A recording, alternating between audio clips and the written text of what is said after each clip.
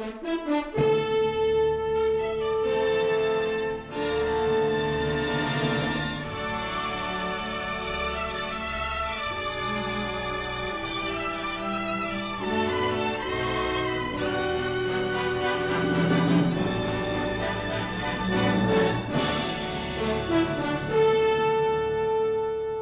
in the headquarters of a big city detective squad begins the most exciting real life drama of our time.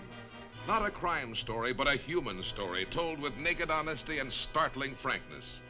For over a year, you personally have been making my client's life a living nightmare. Why? Because I'm annoyed by criminals that get away with murder. They upset me. That's your story. Mm-hmm. But I've investigated and discovered otherwise.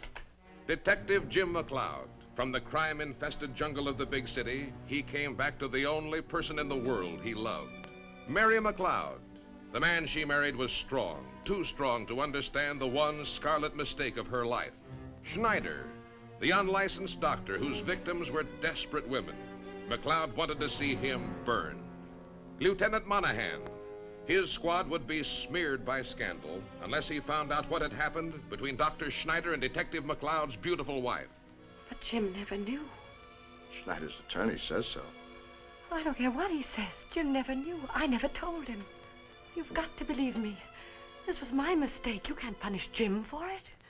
But this was the day of judgment, the hour of decision, when the detective, like the criminals he has hunted so long, faces disgrace in prison for the violence he couldn't control.